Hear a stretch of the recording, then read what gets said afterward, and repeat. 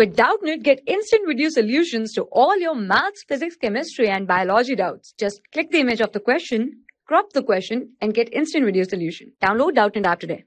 So guys, uh, here in this question it is given that in the given circuit, calculate the potential difference between the points uh, P and Q.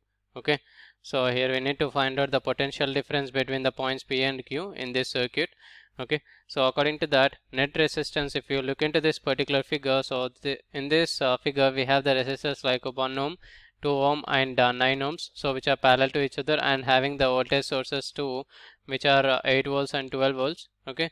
So according to that net resistance value capital R will be equals to 1 plus 9 plus 2 so that will be equals to 12 ohms because they are in series to each other so directly I have added and the net voltage value V will be equals to 12 minus 8 so we will get 4 volts as a value of our net voltage and the current I value will be equals to V divided by R.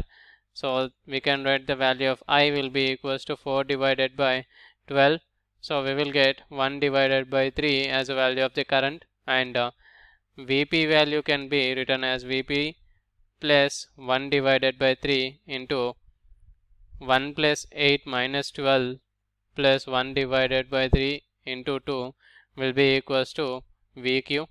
So VP minus VQ value will be equals to 3 volts. Okay. So this is a potential difference bet, uh, between the points P and Q that we have found. So we have got the 3 volts as the answer. So this is the correct answer for this question. Thank you for class 6 to 12, IIT JEE and NEET level. Trusted by more than 5 crore students. Download Doubtnut app today.